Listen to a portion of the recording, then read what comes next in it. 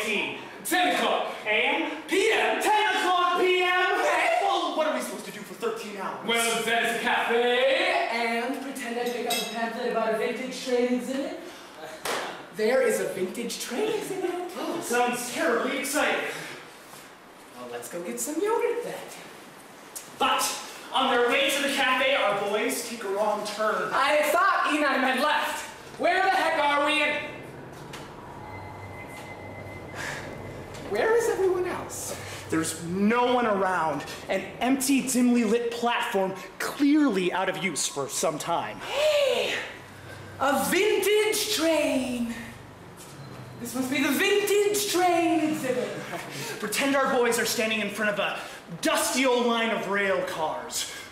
It would probably look contemporary to you, but uh, to our boys of the future, it leaves much to be desired. It's ancient and rusty. The last lonely train of its kind. There's a rope partition in front of an open door leading into one of the cars. There's a light on inside. It seems to be calling to us. Something about it is calling to us. Let's check it out. Oh, pretend I'm reading a sign. Passenger car circa 2005. Whoa, that was like 10 years ago. All aboard the interactive experience train and what life was like in transit for people of past. Whew, crappy translation. Ah. And we go inside. And. Oh, it's pretty boring. It's just a big empty train car with a bunch of historical pictures and old suitcases and stuff. Hey, I'm hungry, man. Let's go check out the cafe. But then,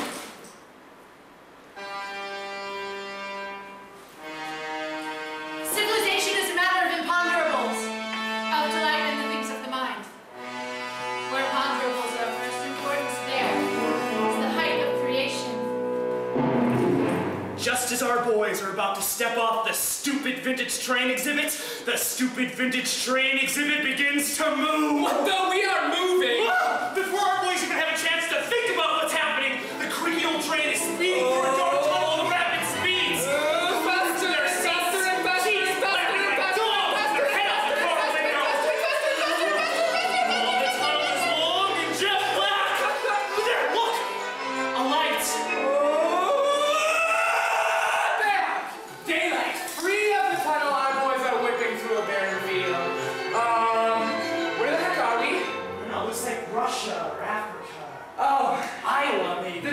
Nebraska? Dude, the tracks are ending!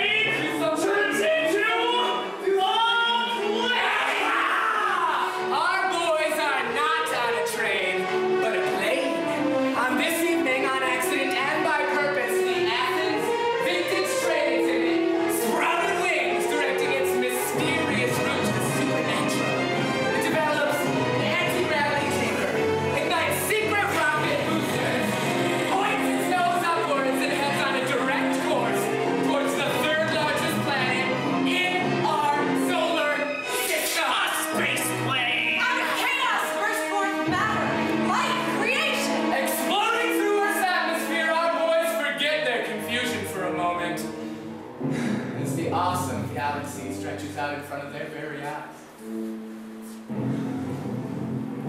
Mercury, Mercury? in Greek, Hermes. We have amazing imaginations.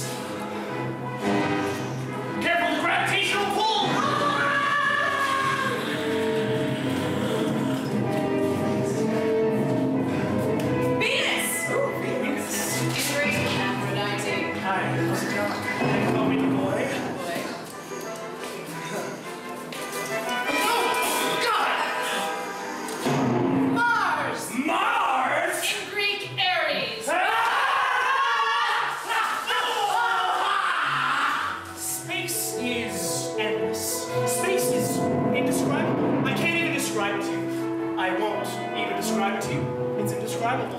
Apollo!